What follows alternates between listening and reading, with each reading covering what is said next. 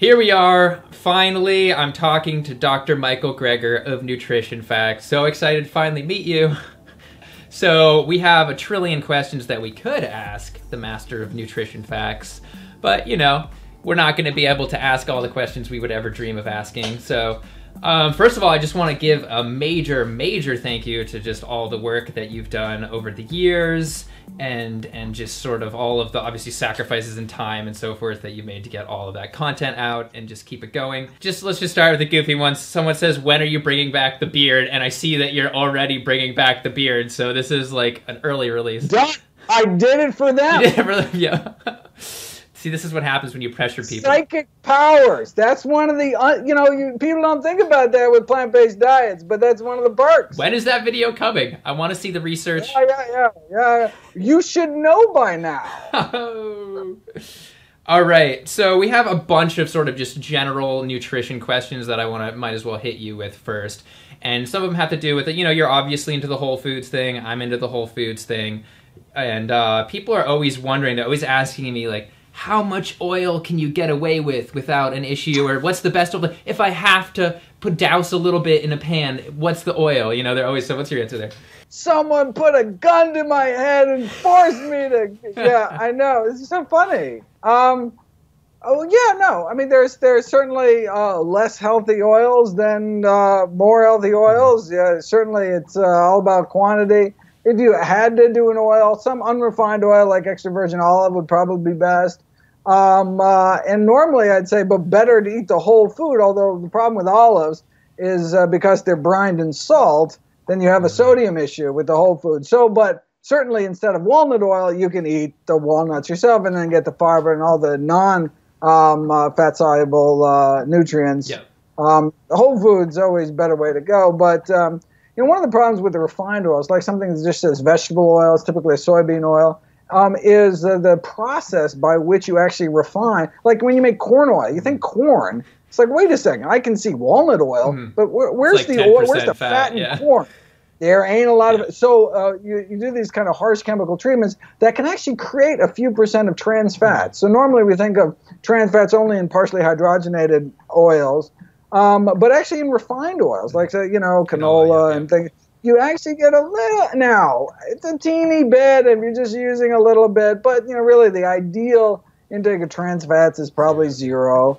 Um, and so, yeah, I mean, you know, but uh, you know, but look, if without the extra virgin olive oil, you would not eat your broccoli, mm-hmm. then put it on your broccoli, oh, right? I mean, okay. it's it's. I mean, it, it, uh, so um, uh, extra virgin olive oil broccoli is better no than uh, uh, vegan donut. Yeah, then, a vegan donut. Okay, there. That's yeah, that's understandable. Then what about the omega sixes though? Wouldn't there maybe be a oil that's higher in omega threes? You know, if you. Oh yeah, so yeah, so uh, omega six which are also really uh, crappy processed oils is a safflower oil, yeah. safflower, sunflower. Um, uh, what's the other? Corn oil. Um, and then there's a fourth really high a sunflower, sunflower. I mean, I was under the impression corn. that olive had a decent amount, where you know at least um, that ratio. Well, no. So, uh, so uh, canola's better in terms of uh, omega three ratio, uh, but some are just really high. Yeah, some really high. But again, if you're just using a little bit and you're eating lots of flax seeds and yeah. walnuts, and you know, it doesn't really. So, what what yeah. do you think about then, like flax oil or, or something like that, or is that? Oh, yeah. Well, no, I mean, so flax oil. I mean, so you know, the omega threes are so sensitive. They get rancid. That I mean, that's why you have to put you know flaxseed oil in the fridge. It goes rancid, mm-hmm. etc. Whereas, and this is really remarkable, you can take milled flax seeds, ground flax seeds, with the you know breaking out you know that nice hard natural hole, opening it up on the on at room temperature for six months in an airtight container, and there's no detriment and you know, uh, you know, ALA doesn't go rancid. I mean, really remarkable that in the whole food form, even when it's ground up, exposed, I mean, still retains um, its nutrition, doesn't go rancid. Whereas the oil, a couple days, you know, can I mean, you just couldn't do that. I wonder if there's some just like thing you could add. Maybe there's a chemical in that ground flax that's preventing it from oxidizing or whatever's happening, going rancid. Well, yeah, add so it to the oil. Presumably, uh, presumably it's the antioxidants, yeah. right? I mean, if we worry about oxidation, uh, you know, it's just packed with antioxidants.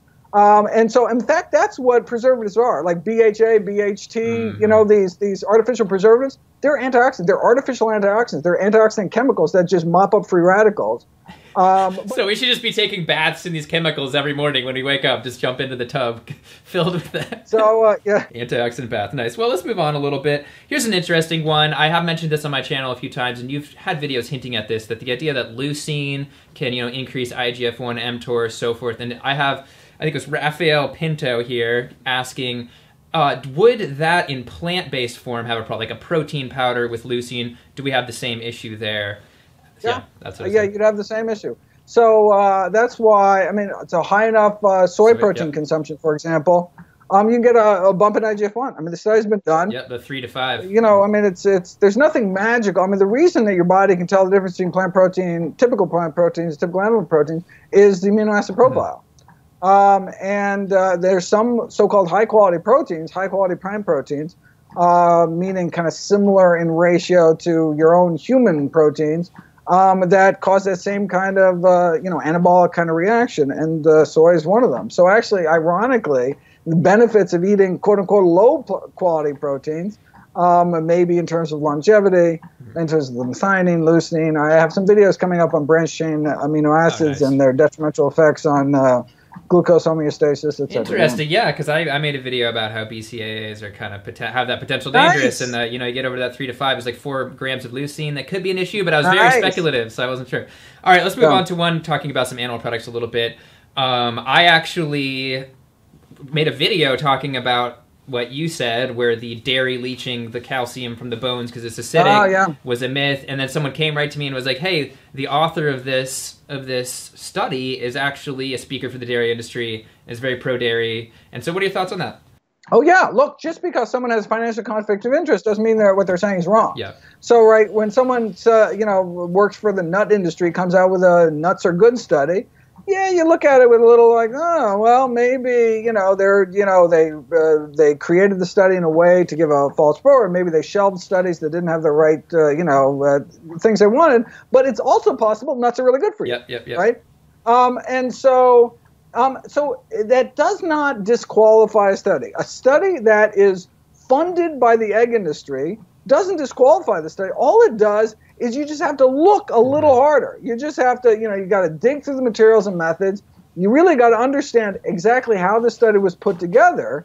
Um, so you don't just throw out baby bathwater. You say, but you do look at it a little more than you would if it was some, uh, you know, independent team of scientists. Yeah. Um, where, where then you just kind of assume they did it right, mm-hmm. and so you can just kind of dig into the results. But then, you know, but anytime, you know. Uh, egg industry or the nut industry or the raisin industry or the watermelon. Anytime there's any kind of funding study, you just got to make sure that uh, they didn't go with this kind of, you know, these kind of preconceived notions and basically set up the study to uh, to to get a desired result for their yep, corporate yep, masters. Yep. So it's it's more of a red flag. And then so my my uh, logical sort of response was like the theory of the acid leaching is probably wrong, especially because we're talking about protein acidity. Then you have to say even taking like a plant-based protein powder would suck suck all the calcium out of your bones.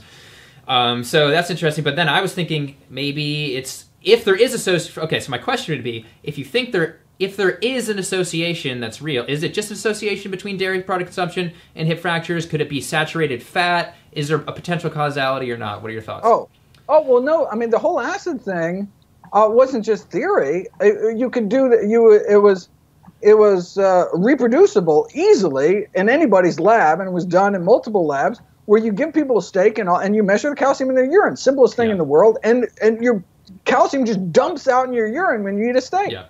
Um, and so I mean, so this wasn't like some crazy vegan theory. This was the mm. mainstream nutrition science theory that oh, that's what happens has this acidifying effect. Your your body has to you know uh, basically leach calcium um, to to, uh, to to to kind of uh, you know to buffer the acidifying effects of these animal proteins. And where are you going to get calcium from? Well, obviously most of it's stored in your skeleton, so obviously that we're leaching it out of the skeleton. And hey, that's why maybe that's why there's so many hip fractures in Sweden and all these places where they have um, a high, uh, you know, dairy product consumption. Like it really fit together nice. Like this was not some.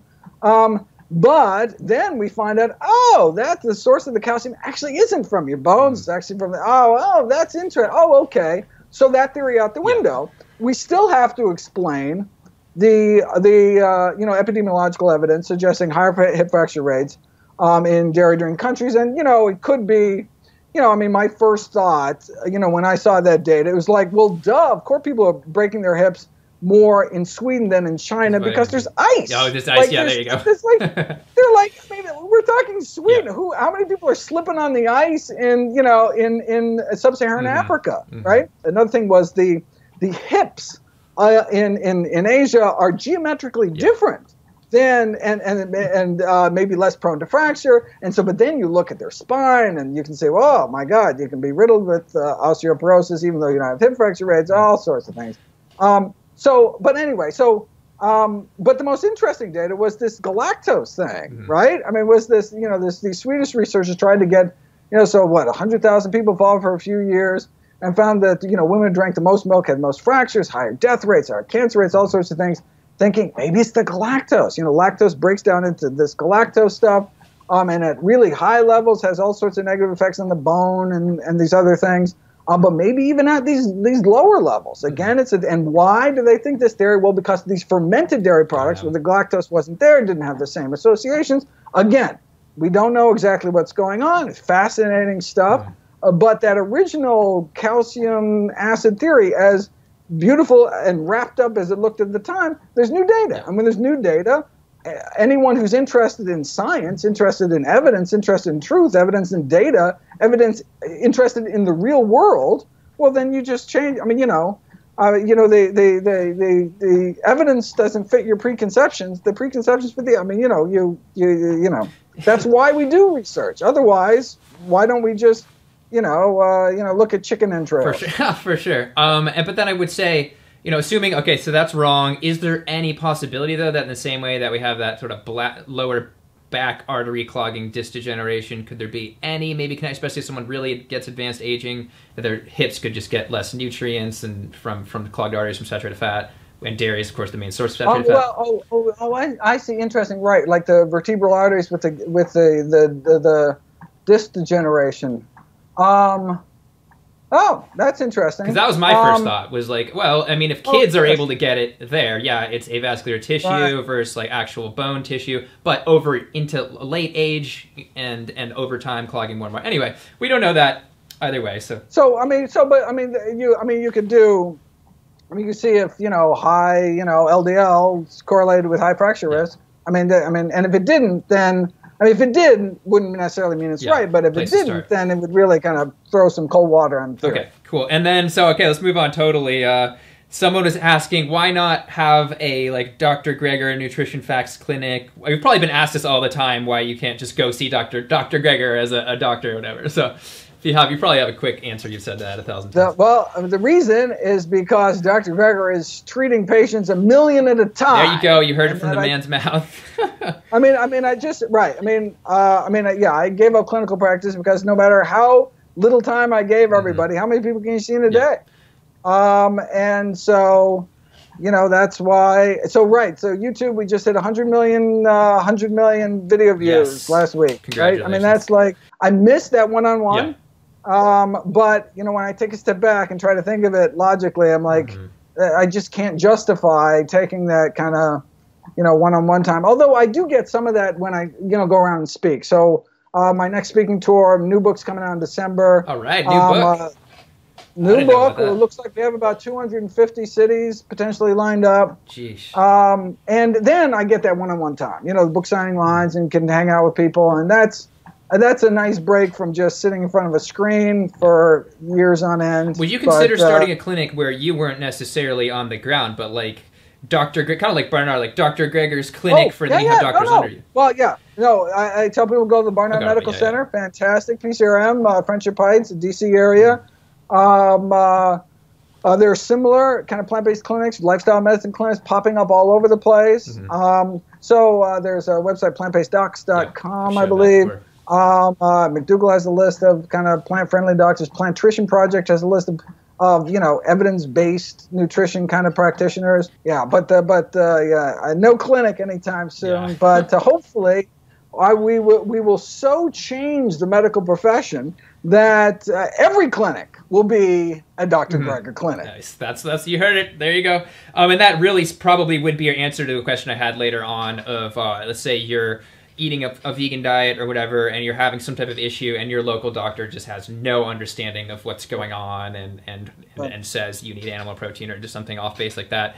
That would be your suggestion to kind of travel to the nearest doctor. Is there anything else? Oh well, I mean, first of all, listen to the doctor. I mean, the doctor. So, um, uh, you know, first of all, it really may. So, may, it may have nothing to do with your diet at all, right?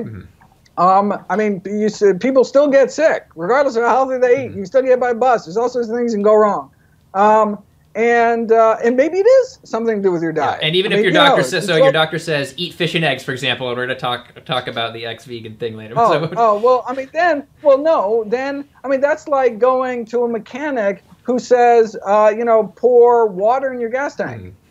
Well, what do you do when you go to a mechanic like that? You get a new mechanic. Like, that's just ridiculous, right? No, absolutely. I mean, but, uh, I mean, I, I see the, uh, the, uh, I mean, I think it's a natural tendency to want to go see, you know, plant-based practitioner because they're not clueless. At the same time, if everybody, if all the healthy people go to see plant-based practitioners, we're not going to be able to educate the mainstream doctors. So when you walk in the door and you're, you know, middle-aged on no meds, cholesterol is beautiful, you know, and, and you know your hot blood pressure is beautiful, and you just, I mean, you are a shining beacon. And you talk about your diet, and they're like, wow, I've got, you know, 10,000 patients your age, and none of them are doing as good as you. You know, then when the next person comes in and says, I'm thinking about a vegan diet, they're not going to just look at them crazy because they just had someone walk in. You know, I don't know. I mean, it's sad that it takes that kind of anecdotal, you know, evidence to get people. But you know, that's how, Mm-hmm. unfortunately, the human mind works. And uh, it's not the mountain of evidence. It's often these one or two little anecdotes that get people to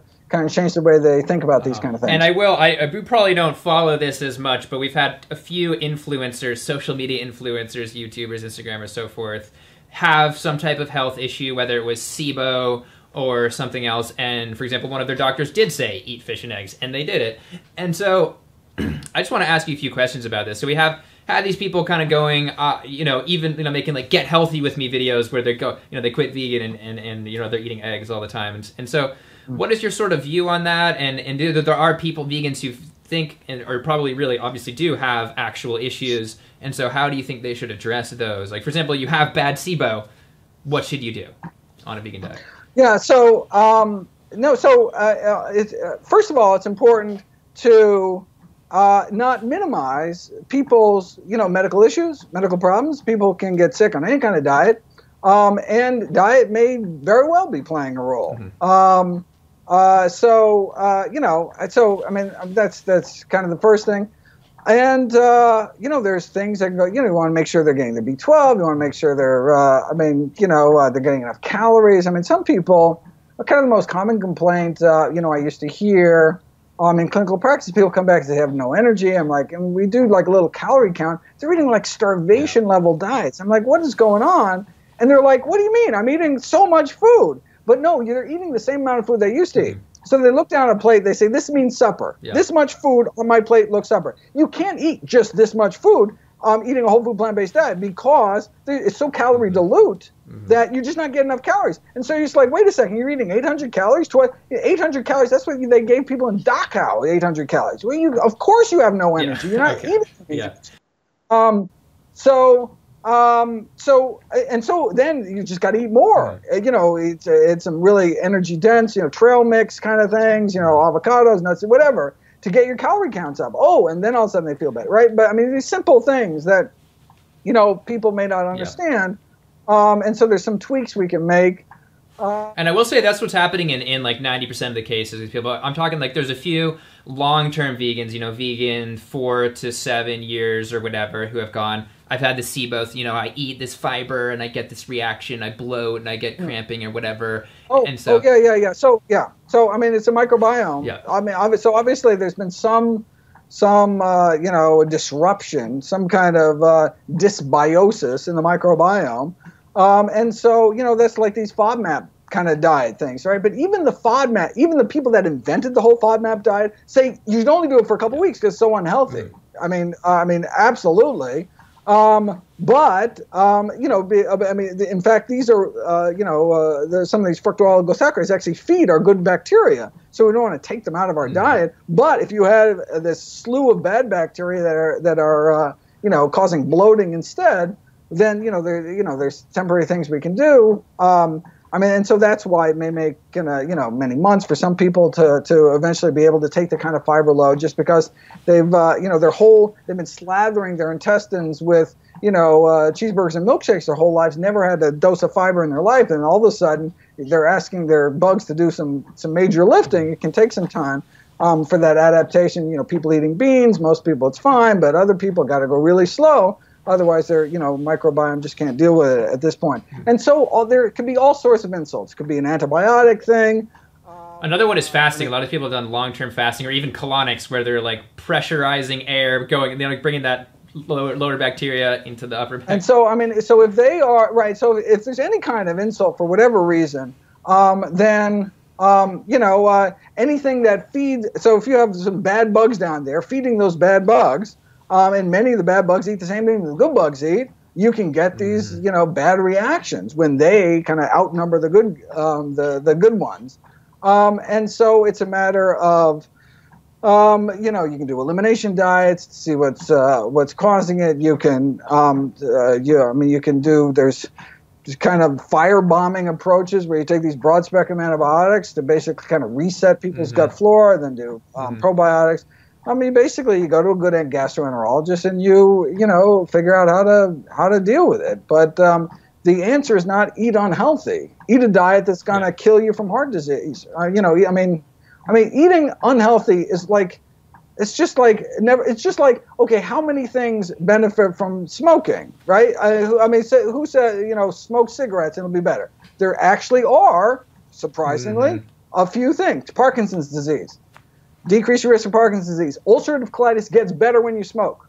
Ulcerative colitis, very painful inflammatory bowel disease, ulcerated bloody stool gets better when you smoke. Why? Because smoking hurts your immune system. And your mm. immune system, it's an autoimmune disease. And so it actually quiets down. It's immune suppressant. And so, but we're going to tell somebody to smoke? It'll make your gut feel better. yeah, but yeah. then you die drowning of lung cancer. Okay. Uh, that's, that's a great not analogy. the answer. Yep. The answer mm-hmm. is to how can we do a life sustaining diet and figure out what's going on with the underlying disease. Cool. All right, we're getting we're like maybe three quarters of the way through. Um, oh, another one interesting. So we've had a lot of people that have also gone on really yeah, high. Eight yeah. minutes. Okay, cool. We've had a lot of people that have gone on like extreme fruity diets, and so the question would be, where is the threshold where you're crossing over from like that good amount of fruit to the too much fruit? Do you know if there is one? What are your thoughts? So I mean, I have that video where they they how much fruit exactly is too much fruit? Yeah, yeah, that, right, right. Where they literally, I think it was Jenkins up at University of Toronto. They're like, let's give it a try. Mm-hmm. Come on, there has to be some level.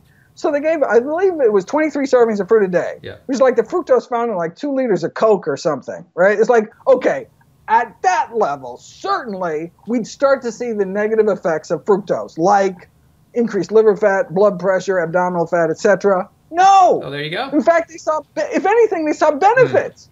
Now, are you going to say, oh, yeah, but if they would have had 24 servings of fruit, yeah. then they would have just collapsed mm. in hmm. rubble, right? now? oh, maybe. We don't have data. I, but yeah. okay. Yeah, we have data up to 23 servings a day. I think that's, you know. Okay, because I, I mean, from my personal experience, I didn't do well in fruit, and I did a I took my uh, fasting or my glucose, not fasting, and uh, I was fine with every starch-based meal, every even going to restaurants. And then I ate five bananas quickly, and I went well over 200, and and the glucose was too high. So, I mean, it, maybe there's different effects, and we probably need more data. But uh, I was anyway. That's my view. I don't know if you have a comment on that. well, I mean, the the concern is, I mean, that's what's supposed to happen when you eat uh, carbohydrates is it goes into your bloodstream and then it gets partitioned mm-hmm. to your body, right? It's the it's primary fuel for your brain, for your muscles, for everything. And so it, it can't magically transport from your intestines into your muscles without going through the bloodstream. So obviously your blood sugar goes up. The problem is when it goes up so high mm-hmm. so quickly that you get such an insulin surge that actually drives your sugars too low. You're right, and so you get the. And I had that. I actually had that. Oh, and so way, you had yeah. to, okay, right, okay. So um, so what that's saying is we were net, just not meant to eat yeah. four bananas back to back. And why? Because bananas, if you look back a few thousand years before they were domesticated, were, you know, these hard, teeny, big seeds, blah, blah, blah. There's no way, right? you can see the fruits and vegetables like you know our fellow great apes eat. They're chewing forever because they're these mat, these fiber. They're trying to squeeze every last little juice of the, these really fibrous kind of fruits. Um, but we right domesticated them just to to make them as you know appealing as possible, um, understandable. So, uh, but yeah, and yeah, so. Uh, it could be. Yeah, we don't. We need more data. Yeah, I mean, oranges, basically orange juice. Okay. Oh, here's one that I think is interesting to talk about a lot. So they had a, a recent, you know, not huge study, pretty recent, out of Switzerland of the mac- micronutrient status of vegans. Maybe you're familiar with it. And they found that there was no statistically different different deficiency rate for the B12, which is great. And maybe if they had more, they would have found a little one. But it was the same, more or less. But then they found that zinc, the vegans weren't doing that well in zinc. And so, what are your what are your recommendations for really nailing that zinc on a especially whole food? So the, the problem right? So the problem is that you cannot. There's no. There is no test for zinc status. Mm. So serum zinc levels, which is probably what they do, is not a good indicator of what your zinc stores are. Mm-hmm. Um, just like you know serum ferritin. I mean, just like serum iron levels doesn't necessarily help what your iron stores are. Um, and so, but so so unfortunately, but that's that's that makes things difficult because then how do you know you're deficient? Um, you know you're deficient when you start losing your taste, your sense mm-hmm. of taste um, when uh, you get more colds and things because your immune is su- immunity is suffering. We don't want to get to that yeah. level, right? And so basically, you can't test for what your zinc status is. So what do you do? You just make sure you get enough zinc. How do you do that? You eat your, you know, you eat your legumes. Mm-hmm. You eat your beans, split peas, chickpeas, uh, lentils, so pumpkin seeds. Uh, pumpkin seeds, right, right, um, right. And so we just make sure we get zinc-rich sources in our diet, and then we don't worry about it. Cool. Okay, so again, we have that those influencers jumping off the wagon, and, and kind of people just follow them, sort of I don't want to say completely blindly, but they're I want they I want to do what they do, so they quit too.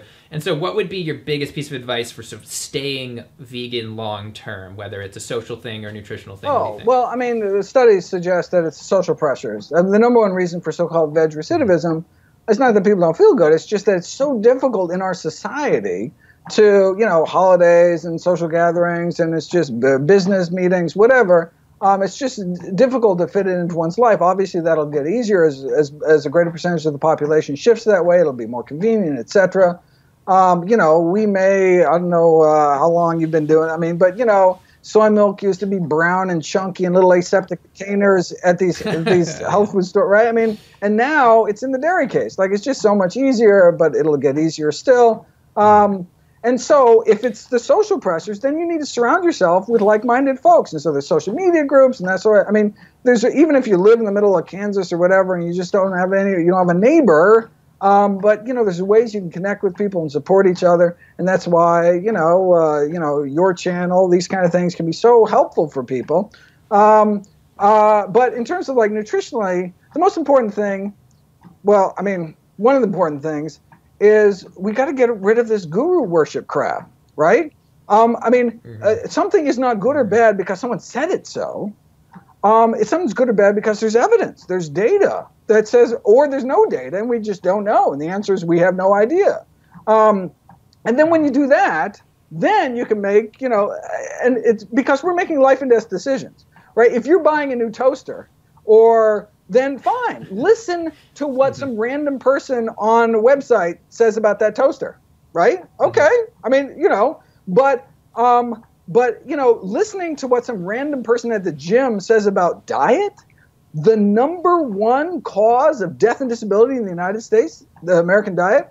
I mean, it's like the most important decision we make for our health, and you're going to let just like checkout store magazine tell you what to feed family? I mean, that's unbelievable to me, right? Mm-hmm. Um, so if there's any decision in the in our life that should be based on evidence, it should be, you know, uh, um, you know what you what we should eat and feed our, ourselves and our families. Um, and so I encourage people to seek out evidence, primary sources. You just need to to and so it's don't listen to what I say, listen to what the science says. And so I that's why nutrition facts I just present the science and then I can say, well, you know, this is what this is how my family has changed their diet based on this. But you can look at the same signs and be like, what, 30% increased risk in colorectal cancer? I'm going to still eat my hot dogs. You know, mm-hmm. yes, that's the same bump in risk you get uh, in lung cancer living with a smoker as a spouse mm-hmm. of a mm-hmm. smoker and getting all that secondhand smoke increases your risk of lung cancer by about the same amount. And you can be like, oh, it doesn't bother me at all. Yeah. Fine, hot dogs, right? I mean, but um, I look at that same data and say, I'm not going to eat a hot dog because I don't want to die of colorectal cancer. Yeah, and you wouldn't want your kid to live with a smoker, and so you wouldn't want to feed your kid sausages. Right. What do you do anyway? Right. Yeah, no, that's that's a, that's a very good Yeah. parallel, right? I mean, would you want your kid around that all the time? No, because it's not healthy for them. Then why are you giving them Lunchables with processed meat? Great. I, I think we have to wrap up, but I want to just ask one really quick one. What do you, because, because, you know, science has limitations of what's happened already, what we've researched. So, would there be any cool things that you would like to see or that you would kind of predict studies coming out about or that you're excited for, you know, you know, in terms of the research in the near future? Oh well, um, you know, the two big uh, revolutions have, uh, in terms of our understanding of the power of lifestyle medicine, has been the microbiome um, and epigenetics, um, uh, and uh, you know, something that I've been really interested in, just because I've been getting deep into it with this uh, new book, is chronobiology. The impact of kind of our circadian rhythms on everything from drug side effects to lifestyle to i mean so like um, if you look at uh, suicides for example if you drink the same amount of poison in the morning you're you know i forget twice as more twice uh, half as likely to die than the exact same amount of poison in the evening because you're just your body is able, able to metabolize it. Um, eat the same number of calories in the morning less fattening than eating the same number of calories in the evening. Lower less blood sugar spikes less triglycerides all sorts of really fascinating stuff. So it's not just what you eat and how much you eat but when you eat that's crazy to Mind me blown. very cool stuff so i got a whole series of videos coming out about that and the bottom line though spoiler alert front load your calories in the day earlier the better bit you know a kid the, whole yeah. breakfast eat like a king lunch like a prince blah blah blah yeah so big breakfast, front load, smaller dinners earlier in the day. It's a very, sounds like a very blue zone thing to do. Maybe I'm wrong about that as well, but Oh No? no, actually, well, certainly in Loma Linda, and the Adventists actually have uh, uh, a, uh, a tradition of of eating two meals a day, Mm-hmm. or in the very least, making breakfast and lunch the biggest meal of the day. And that may actually be playing a role in the Mm-hmm. fact that they're the longest formally studied population in the world. It's not just um, that they're vegetarian and eat nuts and don't smoke and exercise, but also perhaps because they are eating to uh, they're eating with the rhythm. well, there's your uh, teaser for the new book. I'm super excited about that. I gotta go. Okay, all right. Thank you so much, Dr. Greger, for coming on. Finally saw the uh, mic on Mike. I get Michael versus Michael or plus Michael, whatever you want to say. It's finally happened. So thank you so much for watching. Thank you so much for talking. Keep it up. Appreciate it, and I'll see you sometime in the future, hopefully. Indeed, keep up the good work yourself. All right. Thank you. All right. Have a good day. Bye. All right.